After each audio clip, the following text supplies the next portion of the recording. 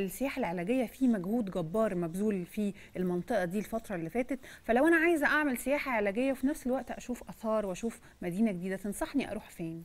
بصي حضرتك إحنا عندنا يعني يعني هقول إيه كنز عندنا جوهرة. هي المنطقة بتاعة الواحات وعلى الأخص منطقة سيوة. منطقة يعني أقدر أقول إنها متشبعة بكل حاجة. يمكن يمكن يعني آه، بينقصنا بس إن إحنا نوفر لها آه، يعني آه، أو نمهد لها طرق تبقى أفضل من الطرق اللي موجودة دلوقتي شوية. يعني إحنا محت- محتاجين إن إحنا نهتم بالطريق بتاعها شوية.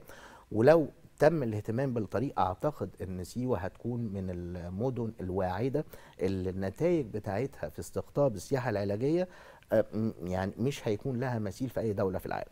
هقول لحضرتك ليه. اولا لما نيجي نتكلم على الأيدي عاملة ونيجي نتكلم على الإقامة ونيجي نتكلم على ال- الزيارة نفسها والتكلفة بتاعت الزيارة. لما نيجي نقارن نفسنا بأي مدينة تانية أو بأي دولة تانية في العالم بتقدم نفس الخدمات اللي إحنا بنقدمها تخيلي حضرتك الأسعار هتبقى يعني أضعاف أضعاف اللي إحنا بناخده هنا. الأيدي العاملة غالية جدا. إحنا عندنا الأيدي العاملة بسم الله ما شاء الله كتيرة ومتوفرة وقادرين إن إحنا نخلق كوادر جديدة لأن إحنا بنتكلم في 110 مليون أغلبيتهم من الشباب. طيب.